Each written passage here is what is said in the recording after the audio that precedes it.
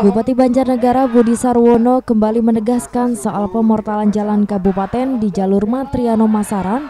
Hal tersebut disampaikan saat jumpa pers bersama awak media di Banjarnegara. Menurut Bupati Banjarnegara, rencananya pemasangan portal ini dilakukan untuk menanggulangi kerusakan jalan kabupaten. Selain itu, dampak dari lingkungan sekitar sudah sangat mengkhawatirkan. Warga mengeluhkan debu jika di musim kemarau ataupun licin lumpur di saat musim hujan.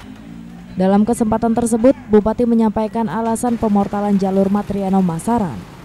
Meski menuai protes keras dari beberapa pihak, namun pemerintah kabupaten sudah memberikan solusi yang ditawarkan kepada para pekerja tambang maupun para pengusaha tambang galian C di Masaran.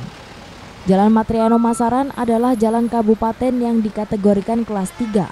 Namun atas permintaan para pengusaha tambang untuk mengganti menjadi kelas 1 sudah dituruti oleh Bupati namun dengan catatan pemortalan akan tetap dilakukan atau dibuatkan jembatan timbang sehingga kendaraan roda 10 tidak bisa masuk atau tidak melebihi 30 ton.